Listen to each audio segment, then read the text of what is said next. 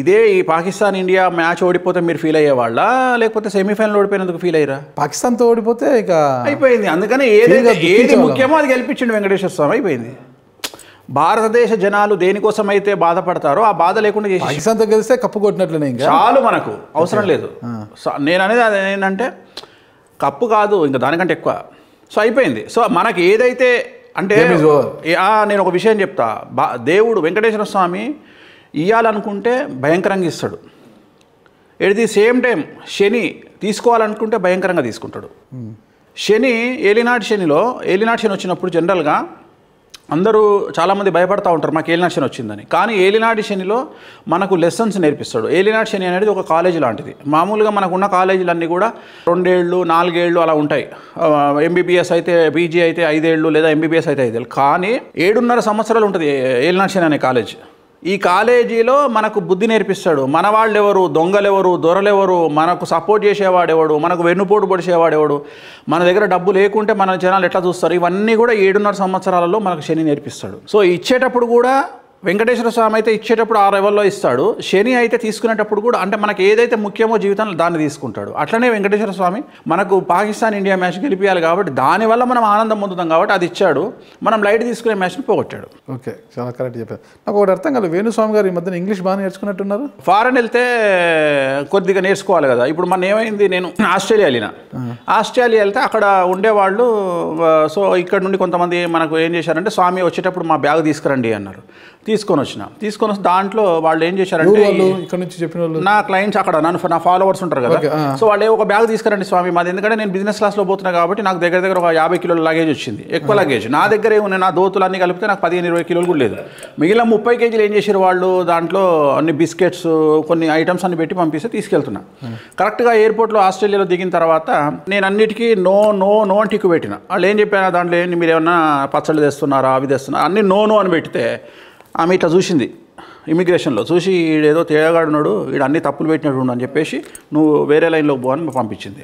నేను వెళ్ళి లగేజ్ తీసుకొని వెళ్ళగానే కుక్ వచ్చింది ఆ డాగ్ సెక్యూరిటీ డాగ్. వచ్చి మూడు ప్రదర్శనలు చేసింది నా చుట్టూ. చేసి నా బ్యాగ్ మీద తలకి కాలు పెట్టి కూర్చుంది. అంతే. ఇప్పుడు మనం చెప్పేది వాడికి అర్థం కావాలంటే కొద్దిగా గొప్ప మనకు వచ్చిన ఇంగ్లీష్ నేర్చుకోవాలి. నెరి నాకు ఇంగ్లీష్ అర్థమవుతుంది విపరీతంగా ఎందుకంటే క్రికెట్ చూసేవాడిని కాబట్టి. కానీ మాట్లాడలేను. ఓకే. హిందీ అలా హైదరాబాద్ కాబట్టి హిందీ విపరీతంగా మాట్లాడతా. కానీ ఇంగ్లీష్ రాదు. ఇంకా మేనేజ్ చేయడానికి నేర్చుకున్నా. అంటే ఇప్పుడు వేరే దేశానికి పోయినప్పుడు కొద్దిగా గొప్ప మేనేజ్ చేస్తే నెరి ఎస్సును ఏదో అవతలకు మనం చెప్పగలిగింది కమ్యూనికేట్ చేస్తే బాగుంటుందనే ఉద్దేశంతో కొద్ది కొద్దిగా నేర్చుకుంటున్నా.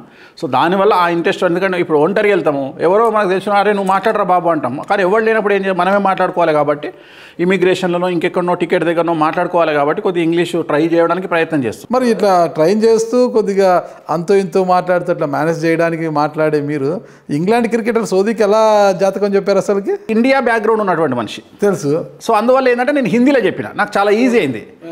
హిందీలో జాతకం హిందీ బాగా వస్తుందా దీనికి? ఫుల్ మాట్లాడతాడు హిందీ. అసలు నేను షాక్ అయినా. హిందీ చాలా బాగా మాట్లాడింది కాబట్టి నేను కూడా వేరే వాళ్ళతో కూడా అయితే వేరే వాళ్ళకు కూడా చెప్పిన. కానీ ఏం చేసిందంటే అక్కడ నేను చెప్పింది ఈయన హిందీలో ఈయన ఇంగ్లీష్లో వాళ్ళకు చెప్తా ఉన్నాడు. కన్వే చేశారు? న్యూజిలాండ్ క్రికెటర్స్కు ఇంకొక ముగ్గురుకో ఏమో చెప్పిన.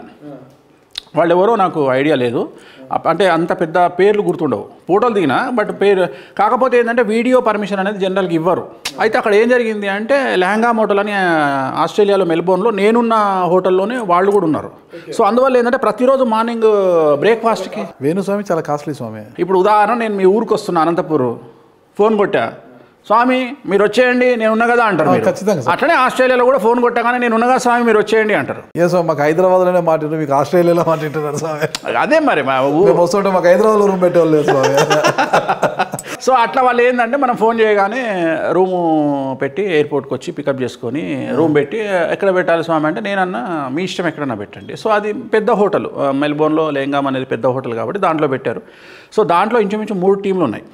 అక్కడ నుండి ఒక వంద మీటర్ల దూరంలో మన ఇండియా టీం ఉంది సపరేట్గా. మన ఇండియాకి మాత్రమే సపరేట్గా ఇచ్చారు. ఎందుకంటే జనాలు హడావిడి ఎక్కువ ఉంటుంది. వేరే టీంలకు అసలు ఎవరు మాట్లాడలే మేము మామూలుగా బయట నిల్చుంటే New Zealand cricketers Pakistan cricketers వెళ్తున్నారు షాపింగ్కి వెళ్ళి చిన్న చిన్న కవర్లు పట్టుకొని లోపలికి వస్తున్నారు. అంటే మనలాగా అడావిడి లేదు. బట్ ఇండియా టీం ఎక్కడుందో అక్కడ మాత్రమే అడావిడి ఉంది. అంటే మన వాళ్ళు అక్కడున్న ఇండియన్స్ అందరూ వచ్చి మన వాళ్ళని అట కొద్దిగా ఫోటోలు తీయడానికి అడావిడి చేస్తారు. సో పొద్దున్న లేస్తే సేమ్ బ్రేక్ఫాస్ట్ ఉండేది.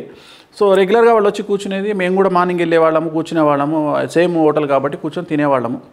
అట్లా సోది గుర్తుపట్టి మీరు ఆస్ట్రాలజీ చెప్తారు కదా అని చెప్పేసి తనే అడిగాడు. ఆయన గుర్తుపట్టాడు మిమ్మల్ని. ఆ, గుర్తుపట్టి అడిగాడు. స్వామి అన్ని? అది గ్రేట్ అది. బ్లాస్టింగ్స్ చేస్తున్నారు అది చాలా సంతోషం అనిపించింది నాకు కూడా. అంటే అవును అంటే సరే వాళ్ళ ఆవిడ గుర్తుపడతాడు మిమ్మల్ని? యూట్యూబ్లో చూసి ఉంటాడు నాగరాజు గారి ఇంటర్వ్యూ చూసి ఉంటాడు అయ్యో నమస్కారం స్వామి. చూసి మా చోటుకి అవుగా అని వాళ్ళ పాపను వాళ్ళ ఆవిడని పంపించేసి వచ్చి కూర్చొని మాట్లాడాడు. నేనేం చేసిన ఆల్రెడీ నాకు కొద్దిగా అలవాటు ఏంటంటే ప్రతి మనిషికి సంబంధించింది ఇమీడియట్గా వికీపీడియా నుండి తీసుకొని అంచనా వేస్తా. వాళ్ళ పర్సనల్ లైఫ్ ప్రస్తుతం ఉన్నటువంటి వాళ్ళు వికీపీడియాలో ఉన్నదాన్ని రెండు కంపేర్ చేస్తా. కంపేర్ చేసి నిజమా కాదా అని అనలైజ్ చేస్తా. టక్కున నా దగ్గర రెడీగా ఉంది ఈయనది. నేనేం చేసిన ఇమీడియట్గా చూసి మీది పూర్వాషాఢ నక్షత్రము పలాంది రాశి అంటే హిందీ ఆయనకు అర్థమైంది. Yeah it is my correct date of birth అన్నాడు. ఓకే. సో నేను టైం ఒకటి అడిగిన. డేట్ ఆఫ్ బర్త్ నా దగ్గర ఉంది. టైం అడిగితే యా పూర్వాషాఢ నక్షత్రం ధనుసు రాశి. సో ప్రజెంట్ మీకు ఏళ్ళ నక్షత్రం నడుస్తుంది కాబట్టి జనవరి పదహారు తర్వాత శని మారుతా ఉన్నాడు. అక్కడ నుండి మీ లైఫ్ బాగుంటుంది అని కొన్ని విషయాలు మాట్లాడిన తర్వాత. మళ్ళీ ఇంకో ఇద్దరిని నెక్స్ట్ డే మార్నింగ్ మళ్ళీ ఇంకో ఇద్దరిని నేను రేపు తీసుకొస్తా మాట్లాడిస్తా అని చెప్పేసి ఇంకో ఇద్దరిని తీసుకొచ్చి మాట్లాడిస్తే నేను చెప్పిన. మీ దీంట్లో మీకు కష్టము ఆడడం కష్టము అంటే మీరు గెలవడం కష్టము కొద్దిగా పరిస్థితులు బాగాలేవు అది ఇది అని చెప్పేసి మొత్తం మీద వాళ్ళకు కొన్ని చెప్పడం. అది ఒక వీడియో మాత్రం పర్మిషన్ ఉంటే ఒక వీడియో ఆయనే పర్మిషన్ ఇచ్చారు ఎవరో తీశారు. ఆ లోకల్ టీవీ వాళ్ళు తీస్తే మనకి ఇచ్చారు. సో అప్పుడే నేను మీకు కూడా పంపించుంటే అది. అదే చూశాలండి ఇయాన్ సోది అనుకుంటా ఆయన పేరు. ఇయ్యాను సోది. అంటే ఆ సోది అనే పేరు ఒకటే తెలుసు. నేను ఏం చేసేవాడిని అంటే నాకు అంతే మన ఇండియా వరకు బాగా తెలుసు. అంటే నేను ఎక్కువ టెండూల్కర్ ఎప్పుడైతే డ్రాప్ అయ్యాడో తర్వాత నేను క్రికెట్ చూడడం సోది అతని పేరు నేను ఆపేసా అప్పటికి ఆపేశాను. ఇండియా టెండూల్కర్ ఆగిపోయిన తర్వాత నేను ఆపి నేను ఏం చేసేవాడిని? క్రికెటర్ ఫోటో దిగిన తర్వాత ఇమ్మీడియట్గా మా వాళ్ళకి ఇక్కడ ఇండియా పంపించేవాడిని. పంపిస్తే మా వాళ్ళు ఈ పేరు చెప్పేవాళ్ళు.